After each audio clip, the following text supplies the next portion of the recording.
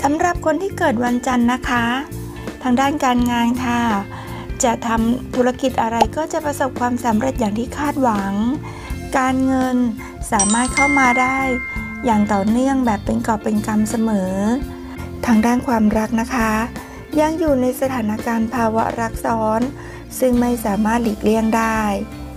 เคล็ดลับเสริมดวงประจำวันนี้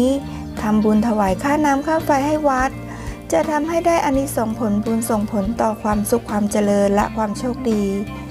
อัญมณีมงคลนะคะก็คือเนนค่ะ สีมงคลคือสีม่วง เลขนำโชคคือเลข 3 เลข 4 เลข 5 และเลข 9 ค่ะ เลิกดีประจำสัปดาห์นี้นะคะ มีผลตั้งแต่วันที่ 1 ถึง 7 สิงหาคมค่ะสำหรับเลิกดีในการทำบุญขึ้นบ้านใหม่ค่ะเหมาะในช่วงเวลา9โมงเช้า 19 นาทีถึงบ่ายโมง 45 นาทีนะคะ เลิกดีในการซื้อรถยนต์คันใหม่เหมาะในช่วงเวลา9โมง 29 นาทีค่ะ ถึง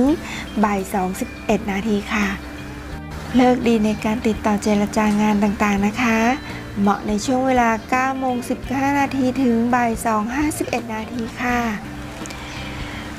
สำหรับเลิกดีในการเปิดร้านเริ่มธุรกิจใหม่ค่ะ เหมาะในช่วงเวลา